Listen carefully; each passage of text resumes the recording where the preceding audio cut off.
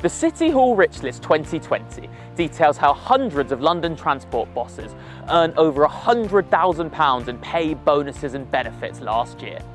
In total, 654 staff employed by the Greater London Authority got remuneration in excess of 100 grand between 2018 and 19.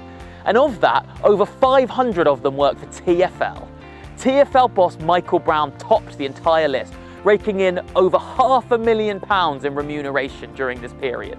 And that's including a staggering bonus of over 130 grand. The transport body consistently paid out the most in bonuses and performance related pay to its senior execs of any London body.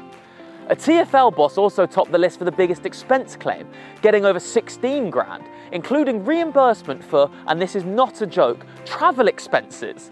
Under the current mayor, there's been a big increase in the number of TfL staff receiving over £100,000. While the number of top tier salaries has also increased in the Mayor's own office and at the GLA, it's actually gone down at the London Fire Brigade and the Met Police. With the Mayor levying council tax hikes on Londoners and TfL pleading for a £1.6 billion emergency bailout last month, it's about time London's ratepayers asked where some of their money is actually being spent.